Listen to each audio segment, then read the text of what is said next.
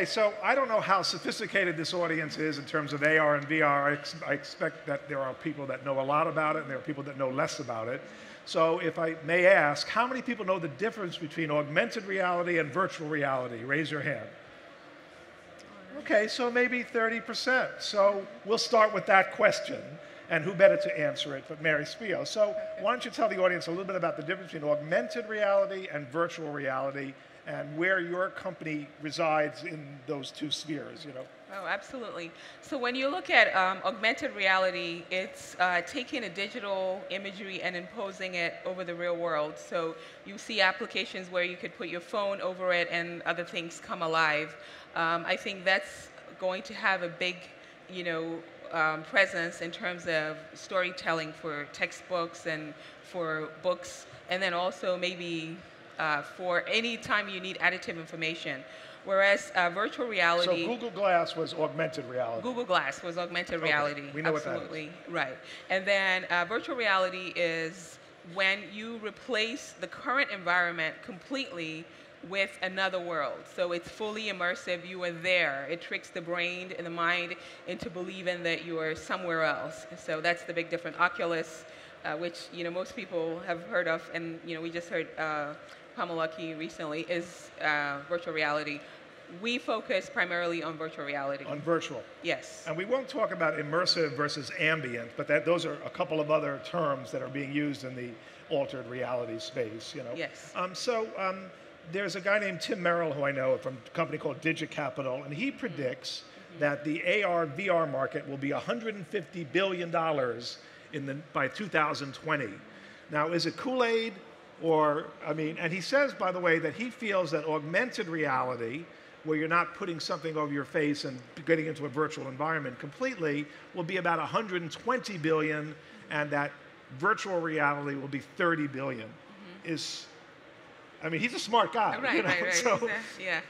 Um, uh, you know, I think those numbers as a whole, 150, I think he's right on it. Whether VR will be only 30% of that, I think that's an understatement because when you look at a single company, uh, headset company alone, when you look at VR, we're looking at hardware, we're looking at software. So I think the numbers are on par, but the VR numbers are going to be much greater than what anybody has predicted. So where are the use cases? Now, I, I, did a little research about Mary's company, and I noticed that they're doing virtual reality executions with hospitals, and they're teaching people how to do tracheotomies, Heimlich maneuver, CPR, and that the retention rates of understanding how to do that using virtual reality is like 85% versus 20% if you took a class. So there's a, there's a business to business um, you know, usage there. Mm -hmm. But then you think about sports, you think about entertainment, you think about porn. So what's where where is where is it going to take off? Where the you know so. Right. I mean, we're, we're definitely not doing porn, but I'm, I'm, sure there are companies out there that are going to jump, you know, uh, head first into into that because that's also when you know you have an industry is when the uh, you know uh, the pornographers get involved. Um, we're focusing on entertainment. So right. sports, music, which is our background. Uh, we have a lot of experience that we've brought from that area to healthcare. I think the reason why a lot of medical facilities and medical schools are partnering with us to create content for educational purposes is because of that. So for example, right now we're working on a CPR, an immersive CPR experience. We have some of the same guys that worked on Halo and Transformers and others that are building these modules for uh, medical professionals. We had EMT and parents and doctors that came in to try the application and you know they were completely blown away. So we have a lot of these areas that traditionally have been very bland and very boring, you know, because CPR, while it's life-saving, for a lot of people can also be boring. So that's what we're doing is re-energizing these fields. So away from the boring. So I'm looking at, I'm researching Mary, and I see that she's on Bloomberg Television with John Calipari, who's the famous coach for the iconic University of Kentucky basketball team. And she's sitting next to Calipari, and he's saying, well, imagine if our fans could be sitting next to me on the bench during a game. And we're going to partner with Mary to make that happen. So think, of, think about that. Think about um, what you know the extra ticket sales Yeah. you know you could you know be virtually in the in the in the arena with the coach and watching the game so is that is that going to happen or is he just you know, you know No, no, no, that's definitely going to happen. When you look at uh, teams such as the University of Kentucky, where they sell out every single game, they have fans all over the world that cannot attend the game, and Yeah. then they also have fans that just simply can't attend the game because they're completely sold out. Right. So with what we're doing with VR, it opens up the opportunity for sports organizations to be able to not only address the local market as their audience, but to address the entire world or the entire globe as their audience base. Yeah. Okay, so there are a lot of players, and one of the big questions that I had was sort of the, the hardware. Okay, so you've got obviously Oculus Rift, they're sitting outside. I think you can even demo it, uh, you know, today. Um, you've got Google Cardboard, and in fact, the New York Times just sent Google Cardboard to every one of its print subscribers. So it makes sense, print, cardboard. Um, and Samsung is in the game, but they're all different platforms. So how do they work together, and sort of what? How do you address that issue, and and how and what do they cost? Right, they don't. They don't work together, and that's the uh, that's the biggest challenge with VR today. It's a big maze because if I buy an Oculus, I really can't watch content that's say it's designed for the Vive, or if I buy you know Google Cardboard, I can't wear, uh, watch content that's designed for Gear VR, which is also where we come in. We're creating one single application that will allow users to be able to sign up to the app and have unlimited experiences. So it really doesn't matter if I'm using an Oculus or Gear VR, we're creating those APIs on the platform. So when you sign up, your account goes wherever you go and it, it's completely But you have device to have agnostic. you have to have the device. You have to have the device, So right? what does an Oculus Rift cost? Can you buy it on the market now, or what? Um, and you know, and I can't speak specifically for them, but I know that you know, fr- from what I've read and you know seen, it's going to be a few hundred dollars. Uh, the Gear VR, uh, which I recently you know purchased another new one, is around ninety nine dollars, and then you have to buy the phone. So you have to use a Samsung phone, which means if you don't already have a Samsung phone, and if I'm an iPhone user, I would have to buy another phone. Um, and, and that's where I think some of the devices, such as you know our partners, for example, are some of the mobile um, devices that you can just slip your phone into, uh, come come in handy. So when Google Glass came out, Mm-hmm. and we all had to watch Robert Scoble in the shower wearing his Google Glass, Mm-hmm. Right. um, did that hurt the industry? I mean, because it did, it, it sort of fizzled out, and then Mm-hmm. you know, I mean, I realize a lot of geeks are fickle, you know, but Right. I don't think Google Glass hurt the industry at all. I, I think with any new technology, you have to look to see exactly where your market is.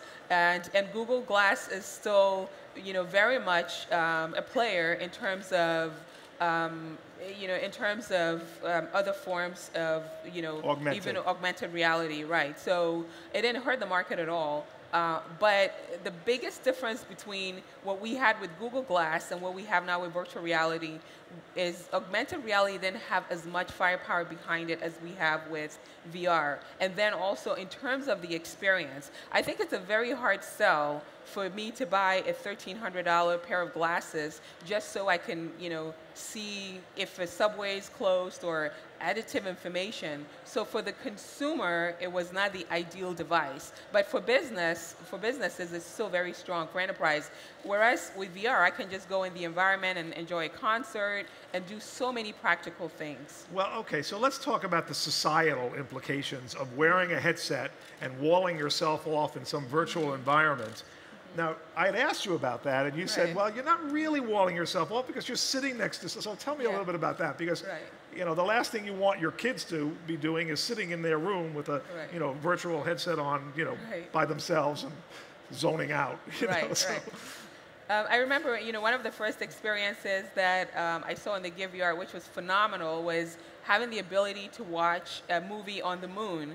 But I also felt like, wow, who wants to be alone on the moon watching a movie, right? So one of the things that we're focused on is building a social virtual reality platform where your friends or people from around the world. You can be sitting in the room no different than we're doing now and be able to hear people when they talk, when they leave. So the interactions are going to continue to be more and more uh, realistic, um, you know, very photorealistic So so, it's you like don't feel isolated. Second Life on steroids. It's like, yeah, Second Life on steroids, crack, and everything else. It's so much more advanced, yes. So you have a new book. It's called It's Not Rocket Science. So, Right. so tell us about that. So it's not rocket science. Um, it's, it's really the kind of book that I was looking for in the marketplace, but didn't find it. Um, I, I, it goes through um, a lot of you know what entrepreneurs go through. Um, so I covered interviews with people that were close to Mark Zuckerberg, people that were close to um, you know a lot of tech founders that I really you know admire. Uh, and so that's what the book is about. It's really about entrepreneurship and you know what works and you know what doesn't work from that perspective. So your company, Next Galaxy, has Mm-hmm. done some work in the medical health arena. You're getting into sports. You're developing this platform that's Mm-hmm. agnostic, device agnostic. So what are the other sort of verticals that you think you'll be getting into in the next year or two? Um, in the next year, uh, what we've done is on the enterprise side, we've partnered with Eon Reality, which Eon is Reality. Eon Reality, which is a leader in enterprise uh, applications. So they would be focusing extensively and you know exclusively on our enterprise applications. Our core focus is going to be music and entertainment, so Right. sports and all of that. We actually um, are the official. We have an official site at the Olympics, which we've teamed up with one of the Olympic official sites to create different types of content and to bring VR to the Rio Olympics uh, in 2016. So our core focus is going to continue to be entertainment, which is what our background is also from digital cinema to you know, work with uh, Xbox and so on and so forth.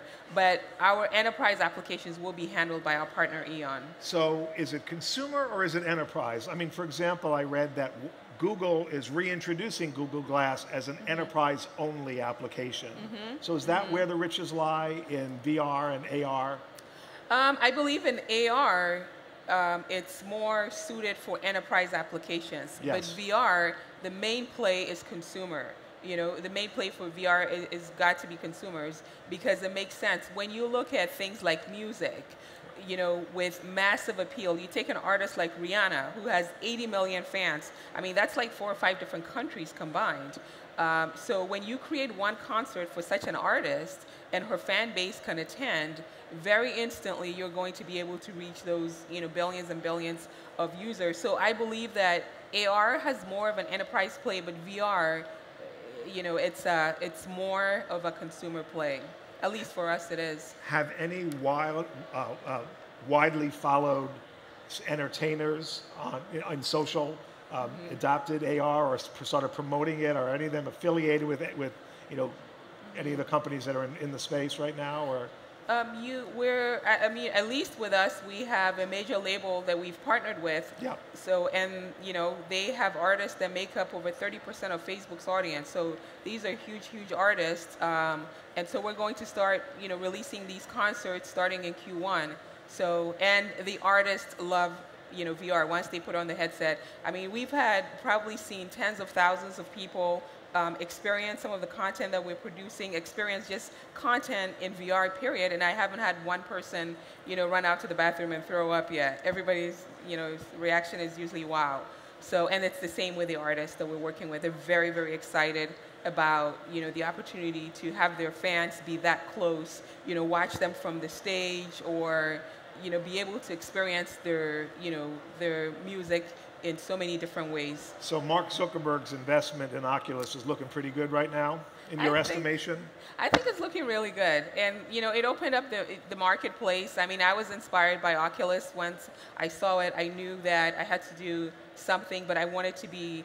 Um, you know, I'm not a I'm, I'm a gamer, but not that big of a gamer, and so I was looking for content outside of gaming, and I couldn't find it. So I created a platform to focus exactly on that. But I think it's a it's a great investment, and it's you know fantastic that it happened because it really kind of kicked off this whole VR you know uh, race that we're seeing now, and now you have Microsoft involved, Sony, Samsung, Well, it seems everyone. to be a very competitive space. So, what you know, what's what are your biggest challenges right now, Mary? I mean, It's a very um, it's a it's a competitive space if you have a VR headset, right? Because you've got 30 different VR headsets out there that are going up against Oculus and Vive. Uh, but what we're doing is creating content. It's very collaborative when it comes to that. You know, um, Oculus is not going to be successful without content creators. Right. Um, none of the headsets, you know, it's the same thing. Any uh, new platform cannot be successful without content. And we're content creators. We enable content creators. So we're not, you know, in competition with Oculus. If anything at all, we're enabling them. And almost every one of the headset manufacturers that are out there, we're working with because that's how we're going to deliver our content through all these different headsets. So we're not in competition with any of them. So I don't know how much time we have left here, but just I had asked Mary backstage um, that. So how does it work? So you know you're there with John Calipari in the arena at University of Kentucky. Do you have to bring in special cameras, and how do you create? What, what's involved in creating a virtual reality experience at an event? Um, at, at, an event, you need uh, several cameras. So, there, and there are a lot of VR cameras. We've tried a lot of different VR cameras. Um, I recently saw a new one from Nokia, which um, has multiple cameras, as well as it's the first one that I've seen that's also recording uh, 3D sound which has been you know missing in the marketplace. So you need a you know a special camera. Um, What's camera 3D rig. sound? Uh, 3D sound is um, more sound I mean, you've got two is- ears, you know, that's right, 2D, right, you know, right. so, you know. So 3D sound is sound that is um, where it has verticality, so you can hear up and down, you can hear behind you, you can hear to the side, and so on. And when you're in a VR environment, for example, when I'm walking back and forth, the sound should change in the same way that it would in real life. Right. And so by recording the audio in this fashion, you're able to have that depth and direction. So if I'm talking to you from here in a VR environment, if I'm using a standard headphone, you're just going to be hearing the sound here. So there is no audio cue for you to look here. And that's the importance of having the 3D audio uh, in VR. And Next Galaxy is in a fundraising mode right now. What, uh, what do you, tell me where you're, you know, where you are in terms of Right. investment and all that. Right. We we um, did an initial raise of uh, two million.